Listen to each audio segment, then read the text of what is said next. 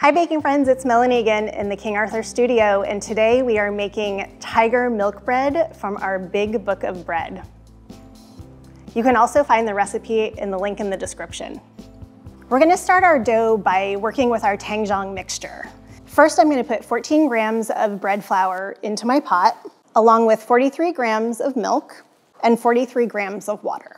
I'm gonna whisk this together until you don't see any more lumps and then we'll actually turn on our heat. We're starting with this Tangzhong mixture because it's going to keep our bread nice and moist. It'll keep it fresher longer.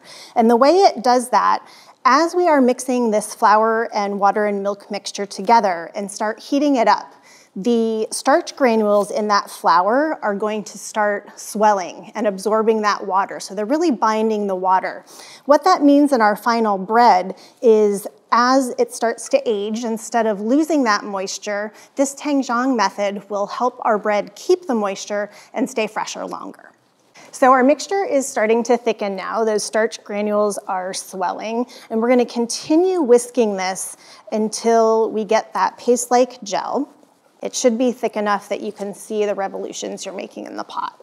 Once this mixture is ready, I'm gonna go ahead and transfer it right into my mixing bowl. So we have our nice hot Tangzhong mixture in our bowl, and to that we're going to add 300 grams of bread flour, 50 grams of granulated sugar, 14 grams of non-fat dry milk, 9 grams of yeast, and 6 grams of salt. So those were all of our dry ingredients. And now we're gonna add our liquid ingredients. We're using cold milk in this recipe. Because we have that warm Tangzhong mixture on the bottom, we want to cool this mixture down a little bit so that when we add our eggs, that we don't have to worry about them curdling. The other thing that we wanna think about is because we're gonna be mixing this for a long time, we wanna make sure that the dough does not get overheated. And then the last thing that's gonna go in is 57 grams of melted butter. We want this bread to be nice and strong and have a nice high rise. So even though we're adding all these enriching ingredients, we have that higher protein bread flour that's going to help our dough come together. We're gonna start mixing this on low speed first, just to get our ingredients mixed together. So we're gonna let this mix until most of the dry ingredients are moistened, and then I'll stop and scrape everything down before I continue to mix again. This time, instead of mixing at low speed, we're gonna increase our speed so that we can really develop the gluten in this recipe. So our dough has been mixing for 15 minutes. What you'll notice now is that it has pulled away from the sides of the bowl, and you can almost hear the dough slapping against the side of the mixer bowl. That lets me know that our dough is sufficiently mixed. So we're gonna turn this off. A lot of extensibility from that bread flour. Now that our dough is mixed, we're going to set it aside and start working on our cocoa mixture. We're gonna start by hydrating our cocoa. So to my pot, I'm going to add black cocoa and 43 grams of whole milk. I'm gonna turn on my heat just a little bit and start whisking this. We're gonna use the same procedure that we did with the Tangzhong method. The reason for that is that cocoa absorbs a lot of moisture. We wanna make sure that our cocoa is hydrated going into our dough so that once our loaf is baked, that cocoa isn't pulling moisture out of our bread and making it dry. We're using black cocoa to get that really deep contrast in our stripes. But if you only have a regular Dutch processed cocoa at home, totally fine. It'll just be lighter in color. And we're gonna keep going until this mixture is about the consistency of heavy cream. All right, we are just about there.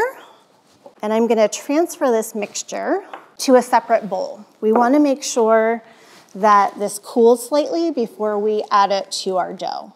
So what we're going to do next is just divide our dough into two pieces, one that's about 420 grams and one that's about 230 grams. That larger piece of dough is going to stay our plain dough. And for this, I'm just going to give it a little knead to smooth everything out. And we're going to put it smooth side up into our bowl. Because we don't want this to dry out, I wanna make sure that it's covered. There are lots of different ways that you can cover your dough to keep it from drying out, you just wanna make sure that air can't get in. So one thing that we mention in our big book of bread is that you don't wanna use just a towel. You want something that's going to keep the air out. So something like a bowl cover like this. You can even use a shower cap. They're nice and reusable. Or you can use plastic wrap. So this is just going to sit in a warm area for about an hour and a half until it's puffy, but not necessarily doubled in size. And the smaller piece, we're gonna add back to our mixer along with the hydrated cocoa.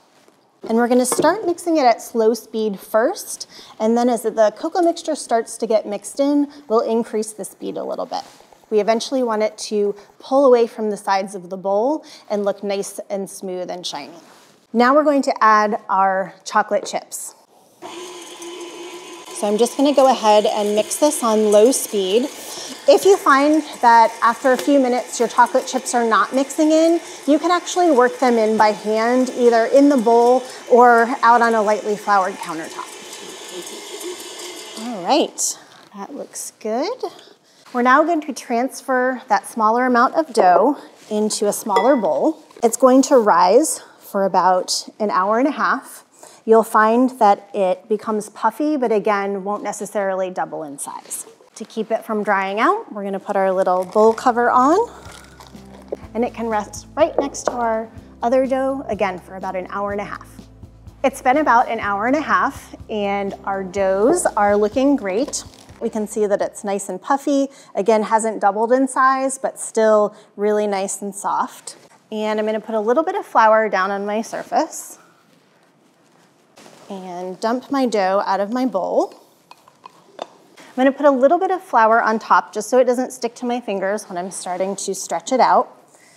Make sure it's not gonna stick underneath. So I'm just gonna press the dough to start releasing all of that carbon dioxide that built up as our dough was fermenting. I'm also gonna tug on the edges just a little bit to square them off. We want to eventually make an eight by 10 inch rectangle so by pulling on those edges, we can start to square it up instead of it being round. If you find that your dough is resisting you a little bit, you can always cover it and let it sit for a few minutes. That's the gluten letting you know as you stretch it, it wants to shrink back. And so it really just needs some time to relax. If you don't have time in your schedule, instead of just pressing it out, you can switch over to a rolling pin and then just roll it out gently. But I think we're pretty close. I'm gonna grab my ruler here. A little bit shy of eight, and I'm exactly at 10. So I'm just gonna roll it a little bit wider to hit that eight inches, and then move it just a little bit off to the side so I can start working on my chocolate dough. Because the chocolate portion is a little bit sticky, I'm going to add a little more flour on top and maybe even a little bit more on the bottom just to make sure it's not gonna stick on me. So same thing, we're going to press out all of that carbon dioxide that's been built up during the fermentation process. And we're going to work this, even though it's a smaller amount of dough, into the same 8 by 10 inch rectangle. So it will be thinner than your plain dough. All right, looks like we're just about there. I'm just gonna verify my measurements, again, wanting it to be 8 by 10, just like our plain dough. Because this is a little bit thinner than our plain dough, to make it a little easier to transport over here, I'm gonna sprinkle just a little bit of flour on top. I'm gonna fold it in half and then just gently work my fingers underneath it to move it over to my plain dough. Then I can easily unfold it. And what we're looking for here is to completely cover the edges of the white dough with the chocolate dough. And if you have little areas where you have little tears there where the chocolate chips were, you can just pinch them together. And I'm just going to square up my shapes a little bit by tugging on those corners. And now we're ready to actually roll this up. So I'm gonna start at the bottom on the short side closest to me and just start rolling very gently. Once I get started, I'm gonna start using both hands to kind of pull as I'm rolling up. As I get towards the far side away from me, I'm again going to just tug on those corners a little bit to make sure that we stay even as we're rolling this up. Once I get that last revolution, I'm gonna turn it seam side up and pinch that seam together. We wanna make sure that it stays together and doesn't open up. And now I'm going to turn it so that the dough is directly in front of me and that seam is facing up. I'm gonna be using a sharp bench knife or you can use a regular knife and right along that seam, I'm going to cut this completely in half. And this technique, if you've ever made babka, is very similar. So I'm gonna turn these cut side up so you can see that we have the chocolate dough and the plain dough. And then we're gonna make an X with these. I like to put kind of the prettier one on top. And then once we have our X, I'm just going to twist the top and the bottom. Once you get to the end, you're going to pinch the ends together and just tuck them under gently. And then I'm gonna do the same thing at the top. So just twisting those two pieces around each other. And I'm gonna gently just get my fingers underneath my dough and then set it right into my pan. And if you need to adjust anything, I'm gonna make this swirl a little bit tighter so that we can see that swirl on top. You can adjust it now. The great thing about this Pullman pan is that it has a lid. So when this loaf is baked, it's gonna be completely square all the way around. We're gonna set this in a warm area for about 40 to 50 minutes. What we're looking for is the dough to start to rise and about fill our pan about three quarters of the way. So our dough has been proofing for about 45 minutes. I'm gonna pull this back so that we can take a look. If I press it just lightly with my finger, you can see it just slowly fills that indentation, so that lets me know that my bread is ready to bake. Now we're gonna put this in our preheated 425 degree oven for 20 minutes.